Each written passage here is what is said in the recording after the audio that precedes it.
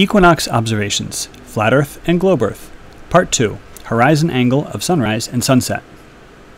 This is the second video of our six video series, and we're going to record the angle that the sun makes when it does sunrise or when it sets.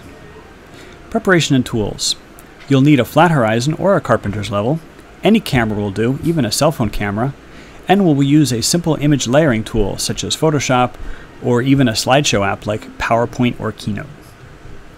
Be sure to make, mark the spot where you stand to take your photo so you can stand in the exact same spot each time with your camera over that spot for consistency.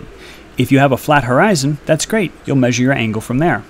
If you don't have a flat horizon, you can do a little trick with your cell phone or with your camera. Let's say you're using a cell phone camera. Simply layer a carpenter's level on top to make sure your camera is absolutely horizontal.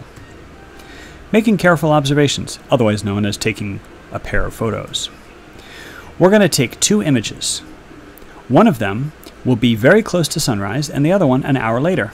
Or you can take one an hour before sunset and the other one at the moment of sunset. Make sure you stand in the exact same spot each time and use the exact same zoom. Post processing using a, your favorite image editor such as Photoshop or you can use a slideshow app. In PowerPoint, there is a tool called Remove Background, whereas in Keynote, it is called Instant Alpha. We're going to use this to remove the background. So here are two sample images, and these are fake images just for illustration purposes only. But what I tried to illustrate is that maybe your framing isn't going to be exactly the same. Maybe the, you know, the, the stuff doesn't line up. Also notice that the sun, when it gets higher in the sky, it might be brighter and maybe it's flaring a little bit, so you can't really uh, see the, you know, the, uh, the exact same size as the other one. And all these things are fine. So what we're going to do is we're first going to copy the photo on the right so that we don't mess up the original. And then we're going to snap an image out of the left-hand photo that captures this uh, sunrise sun. Now using this smaller subset image, we are going to remove the background using one of our tools like the Instant Alpha tool. So now that the background's removed, and just for illustration purposes, I've added a pink glowing background so you can kind of see it a little bit better. We're going to actually place this over top of the right-hand image. And so as you can see, it, uh, it you kind of tweak it so you can kind of line up all the buildings. But if you've taken the photos at exactly the same spot, everything should line up quite nicely. Now we're going to see this image full screen. So all you need to do is draw a line through the center of these uh, suns. Again, it doesn't matter that the suns are two different sizes. We're just going to draw a line through the middle and measure the angle. In this case, it's 58 degrees from the horizontal.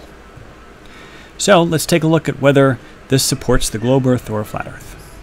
So again, on the equinox, on the globe Earth, there is effectively no tilt to the Earth's axis, whereas on the flat Earth, the sun is simply tracing a circle right above the equator. So on the globe Earth model at the North Pole, we don't really have sunrise or sunset. The sun is simply going to be uh, tracing a, a, horizontal path across the um, a, a, across the horizon.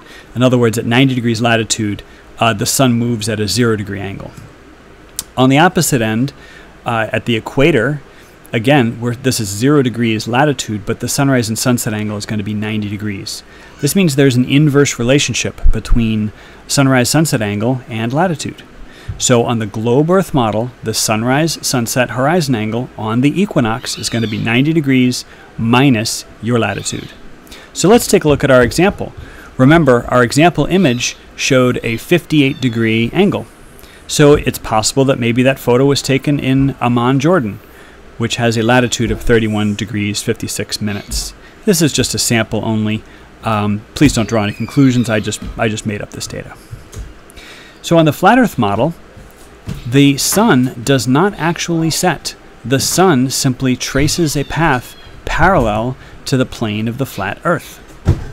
So on the flat Earth model, sunrise and sunset is due to the combination of perspective and the vanishing point because technically the sun never sets over the plane of the flat Earth. This means that the sunrise sunset angle is going to have no relationship to latitude. Um, the sun, sun may rise and set, but the angle that we see simply does not does not relate in any way, shape, or form to latitude. If you'd like to share your results, uh, you can go to the message board set up by YouTube user Kara Diane at flatearthmath.boards.net. You can share your location and your sunrise or sunset horizon angle. Our next video is going to be on the zenith angle of the sun, and to do this you just simply need a homemade solar clinometer which requires a plastic protractor. Remember to please be kind whenever possible, because it is always possible. Thank you.